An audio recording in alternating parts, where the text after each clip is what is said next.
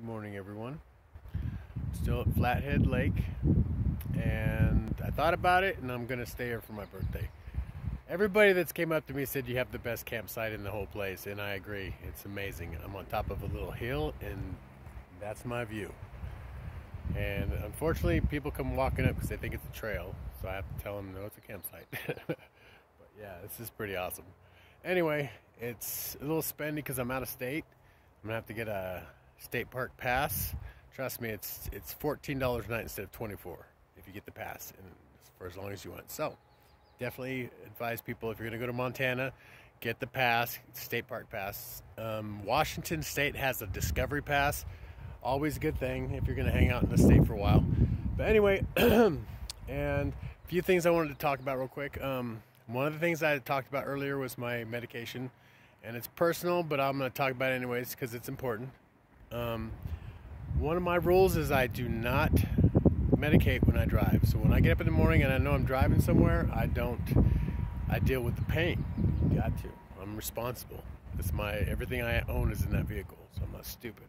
Not that I do it anyways. I don't drink and drive, and I've never done that either. I always wear my seatbelt. But what else did I want to talk about? Um, bugs. There's bugs everywhere. It's awesome. And I'm excited about that because that means I'm going to be doing some fly fishing. So, yeah. Anyway, um, yeah, I can't really think of anything else right now. Um, but um, be nice to each other. Be patient because there's a lot of people that are just really weirdos. I mean, I think it, it, what it is is the low vibration, the fuck, fight, or flight. And then there's the high vibration people that are very sweet and wonderful, and you know them instantly because they're always smiling. And I'm sure people that are low vibration probably hate that. I've got some dirty looks from people that I've never even met before. I must be too happy or something shit. I don't know. Anyway, but yeah, so just think high vibration people. Um, just think positive. Um, I know it's not easy, and I make it seem easy, and it's not. And my crying in my pillow is all about me, and you're not gonna know about that. Not that I cry, but anyway.